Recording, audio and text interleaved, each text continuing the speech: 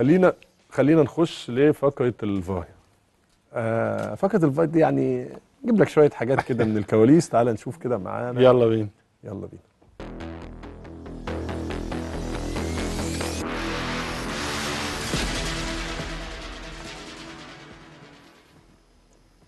في بطولة 98 في بوركينا فاسو قلت جملة للاعبين زمايلك بعد ما خسرتم من المغرب في دور المجموعات زعلت منك الكابتن محمود الجوهري وكان له موقف معاك وعمل محاضرة كاملة بسبب الجملة دي يا ترى لسه فاكر الموقف ده؟ اتفضل يا كابتن.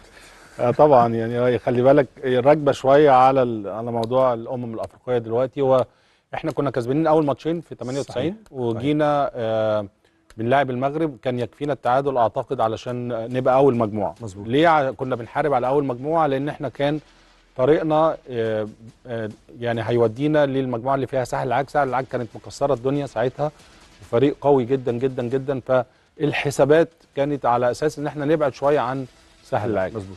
فأنا بعد مباراة المغرب الحقيقة كنت متنرفز جدا وأنا خارج يعني كده دخ- دخلت الأوضة وقلعت الجزمة ورميتها في الأرض وقلت لهم خلاص بقى عشان نقابل ساحل العاج خليكم يعني مبسوطين. فالكابتن كان كابتن جوهري كان ورانا ما عقبش ولكن لما رجعنا آه، عمل عمل لنا محاضرة وقال طبعا كنا نتمنى ان إن المباراة تخرج أحسن من كده على مستوى لكن آه، أنا سمعت هاني قال كذا كذا كذا وأنا بقول لك يا هاني المباراة ديت هتبقى إن شاء الله بإذن الله طريقنا بإذن الله هنفوز على ساحل عاج ونوصل للمباراة النهائية.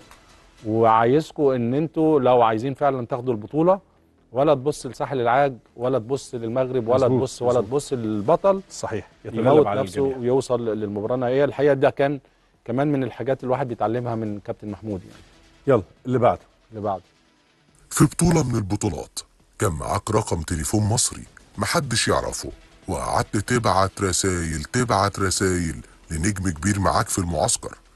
وكانت ليلة كبيرة قوي. يا ترى مين النجم ده؟ وبعت إيه؟ أنا اللي حاطط السؤال ده. طب أنت جاي قول بقى. كمل. أنت. لا كمل. أنا عايز عايز أسمع منك وسمع الناس. طب هو عارف. ولا ما عارفش لحد دلوقتي؟ لا ما دلوقتي. هيعرف منك. يلا قول. عارف ولا ما عارفش طيب. لا لا ما عرفش لحد دلوقتي. خليني أقول لكم كنا كنا في بطولة 2002 تقريبا مش. كده؟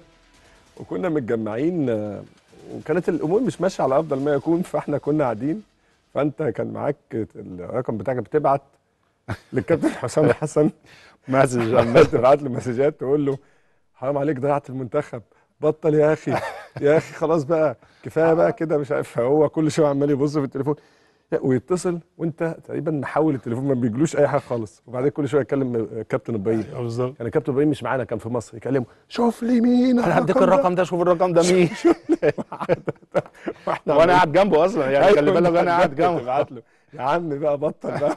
فهو كان يوم طبعا. لا كان موقف ظريف جدا و يعني أكيد دلوقتي كابتن حسام لو سمعنا هيعرف مين اللي كان بيبعت المسج.